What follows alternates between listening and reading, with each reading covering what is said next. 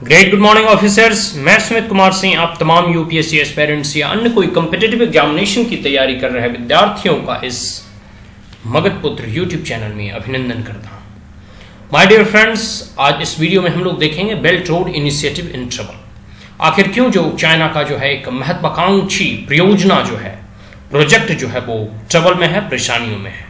तो belt road and initiative in trouble and जी ड्रीम जी यहाँ कह सकते हैं जी जिनपिंग जो कह सकते हैं चाइना के अभी वर्तमान में प्रेसिडेंट हैं, उनकी जो महत्वाकांक्षी, उनका जो ड्रीम था ड्रीम प्रोजेक्ट वो जो है इन ट्रबल है due to China's shrinking economy China की जो इकोनॉमी डूब रही है, उसकी वजह से। आइए आगे बढ़ते हैं। What is B R I पहले हम लोग जान लेते हैं कि B R I B R I है क्या?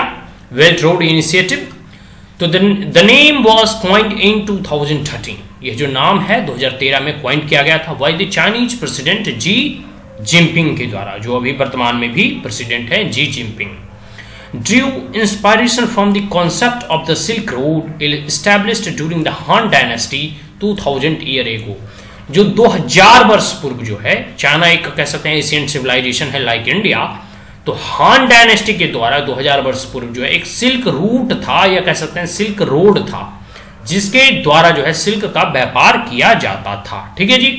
एन एशियंट नेटवर्क बहुत ही प्राचीन काल का नेटवर्क मतलब था ऑफ़ ट्रेड रूट्स मतलब जिससे व्यापार वगैरह होता था। That connected China to Mediterranean या द यूरोसिया वह जो है चाइना को जो है मेडिटेरियन जितने भी कंट्रीज़ हैं, उनसे और विया यूरोसिया मतलब यूरेशिया और एशिया होते हुए फोर सेंचुरीज लगातार कई सेंचुरीज तक जो है इससे ट्रेड वगैरह होता था। आगे the B R I has also been referred to in the past one belt one road initiative ठीक है जी? One O B O R ठीक है जी? O B O R one belt one road initiative भी से कहा जाता था। तो पहले मैंने इसका इतिहास बता देना और इसके बारे में बता देना, सही समझा कि आखिर यह है क्या। आगे कॉम्प्रोमाइज यह क्या क्या कॉम्प्रोमाइज करता है? मतलब इनके अंतर्गत क्या क्या चीज़ आता है?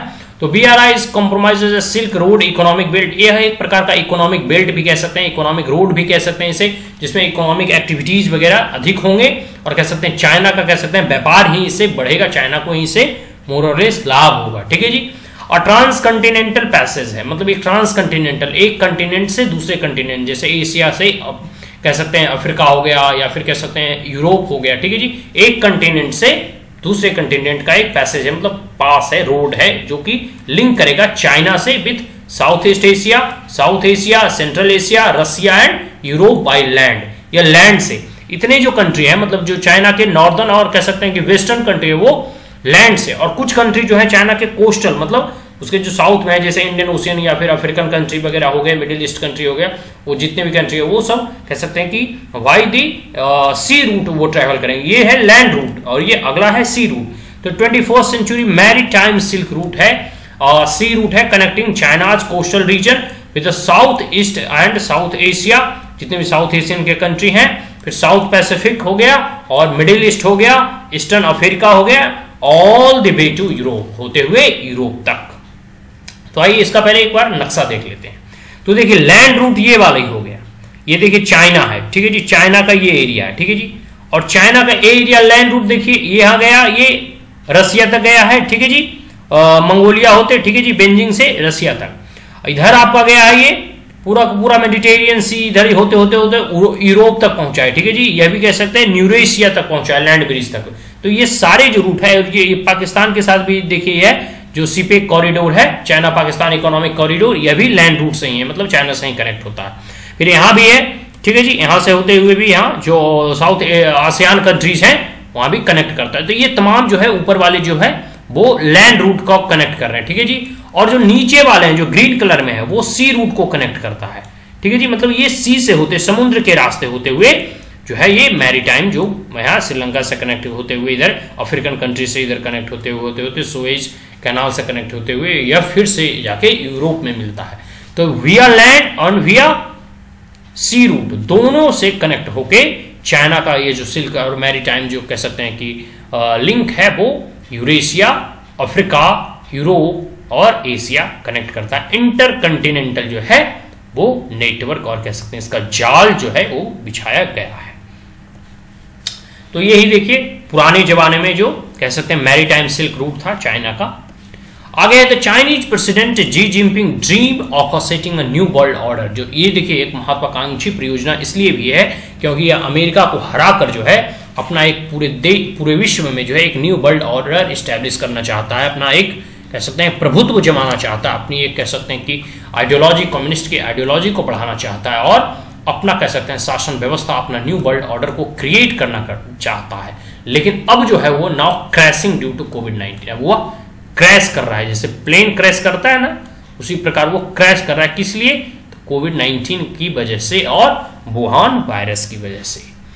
और यह वायरस भी मोरोलेस इसी की उत्पत्ति है। आगे B R I belt and road initiative becoming a financial inviable अब यह जो है मौद्रिक तौर पे आर्थिक तौर पे जो है इनवेबल हो रहा है मतलब इसका जो बोझ है, वो अब जो है चाइना ढो नहीं पा रहा है।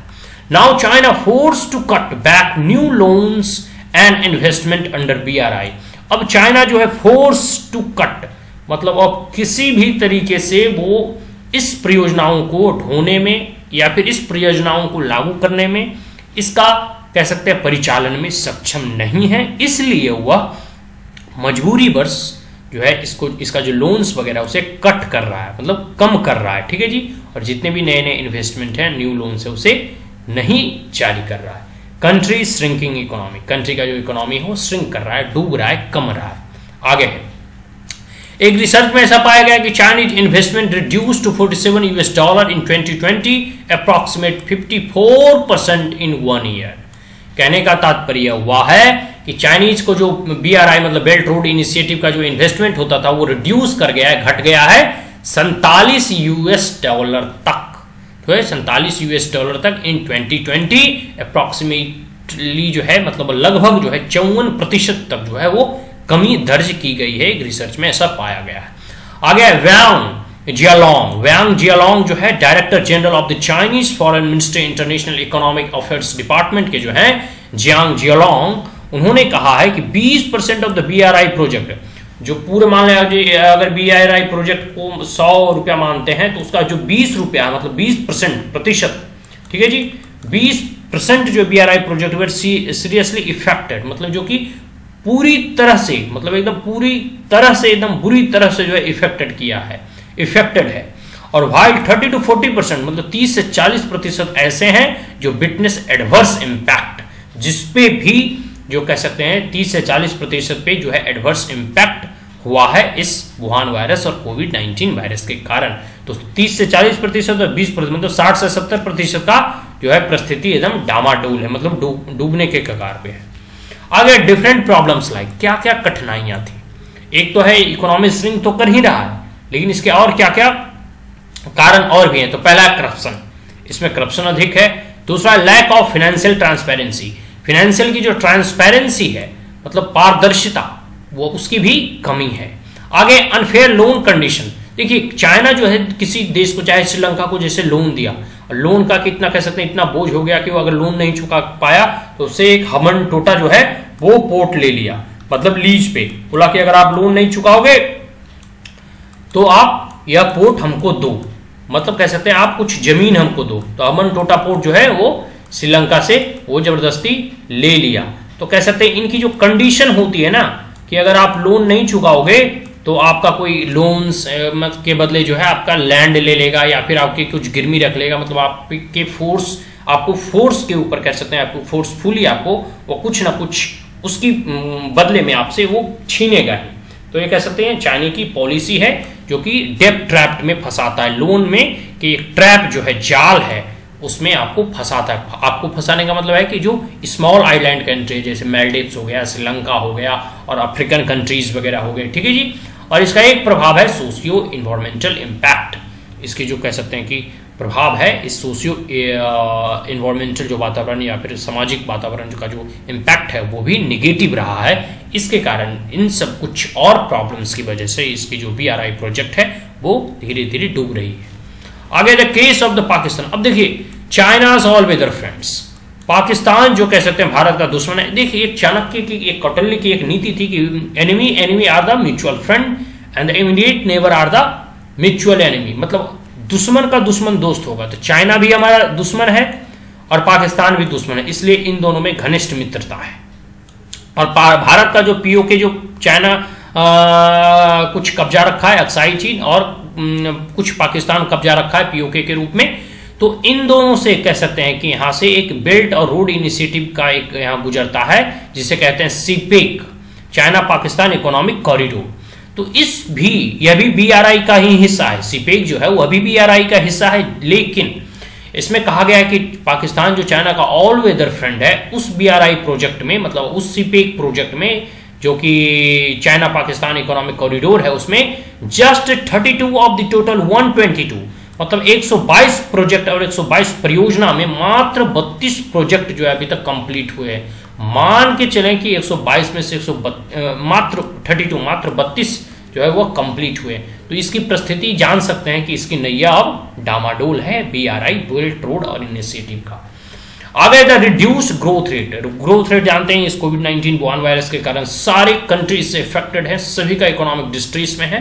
जिसके कारण ग्रोथ रेट का जो है, कह सकते हैं स्लो होना कम होना स्वाभाविक है। आगे force Beijing to tighten physical discipline and work on the financial risk इससे क्या है? बिंजिंग को टाइटेन होना पड़ रहा है और फ़िज़िकल डिसिप्लिन अपनाना पड़ रहा है फाइनेंशियल रिस्क को देखते हुए।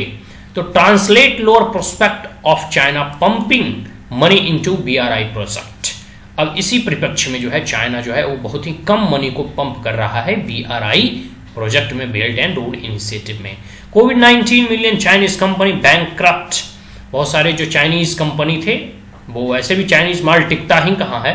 तो उस कोविड 19 के कारण जो है मिलियंस चाइनीज़ कंपनी मिलियन में चाइनीज़ का कंपनी का दिवालिया हो जाना, ठीक है जी?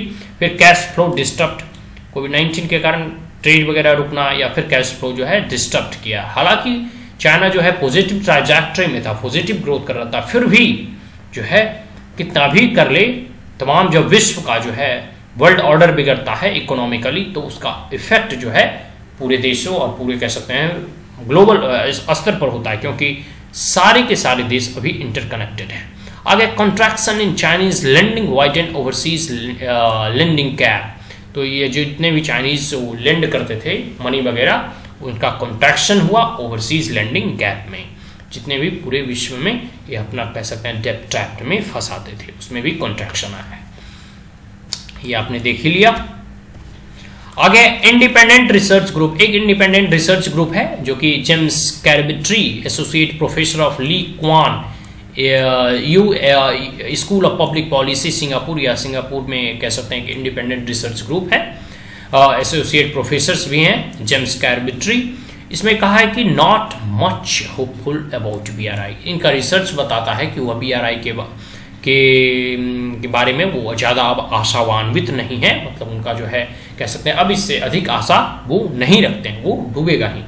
China has to walk on the right trope since B R I loanee countries want their loans to be cancelled अब जो है जितने भी जैसे छोटे छोटे कंट्री हैं जो अवेयर हो गए कि भाई चाइना तो हमें डेट डेप ट्रैप्ट में हमें फंसा रहा है, कर्ज के जाल में हमें फंसा रहा है। तो इसे वह चाहते हैं कि बीआरआई का जो लोन है उसे वो कैंसिल कर दें। तो छोटे छोटे कंट्री जो है, अब इससे अवेयर हो गए, जागरूक हो गए। While Chinese people are against overseas spending in such difficult time अब चाइना के जो पीपल हैं, इस जब इकोनॉमी कॉन्ट्रैक्ट कर रहा है कॉन्ट्रैक्शन में है, जो इकोनॉमी की हालत जो है, वो गिर रही है, वो कह सकते हैं कि डिक्लाइन में है। तो चाइना के जो पीपल्स हैं, जो जनता है, वो अभी चाहती है कि इस डिफ़िकल्ट टाइम में चाइना जो है, बाहरी देशों पर अधिक से अधिक पैसा खर्च ना करे। First meet its domestic need pandemic and induced economic slowdown सबसे पहले वह जो है इकोनॉमिक जो है डोमेस्टिक नीड की जो है, जो घरेलू जरूरतें हैं उसे पूरा करे इस पैंडेमिक से जूझने में और कह सकते हैं कि इस कोविड 19 से डील करने में और जितने भी परेशानियाँ उठाना पड़ा है घरेलू स्तर पर उसको समाधान करें। तो यह वीडियो यहीं संपन्न हुआ। आशा करता हूँ कि वीडियो आपको अच्छा लगा हो तो इसे लाइक शेयर और सब्सक्राइब ज़रूर करें।